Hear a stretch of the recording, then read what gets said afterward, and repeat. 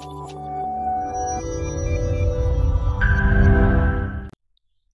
everyone, this is Andy from Facet and today I want to show you how you can improve your mask editing process by using the edge refinement option. As an example, let's say that I want to create a mask that takes the shoulder of the person in this image. Let's start by zooming in a little bit on this image, uh, maybe not that much, there you go, and now we're going to use the brush tool to create this mask. Now I'm going to create a mask that is deliberately not good at the edges. Okay, that should do it. And let's accept this. Now, as you can see here on the options, we have the feathering option and the refine edges option. I'm going to toggle these two to make them off and in order to see what our mask covers, let's add a solid fill, maybe using this color.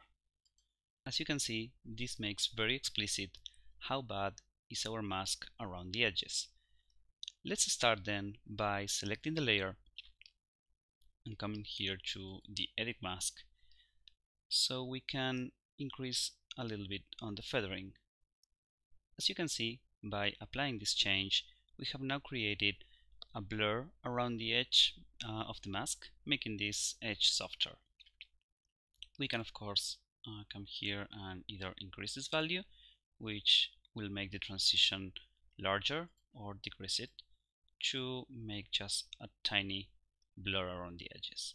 Now, the really interesting part comes when we start to use the refine edges option.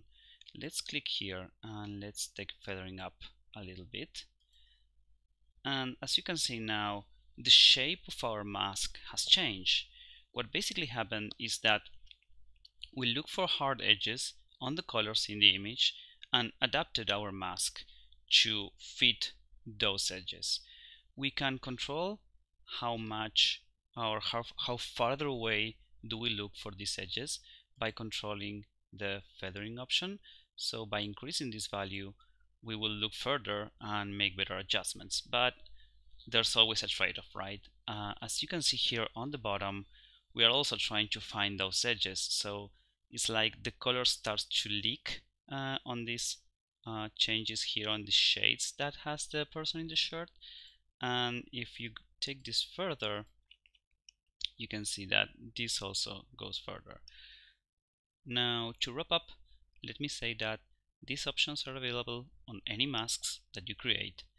Um, the only change that you may see is that for some tools this is enabled by default as it is the case of the brush whereas from other tools like lasso or rectangle uh, they are not enabled by default. As an example let me show you here uh, creating a rectangle and as you can see if we edit the mask uh, the feathering and refine edges will be on zero and unchecked by default which of course this is something you can change uh, as you will. And we can see that failing here right? And if we come back here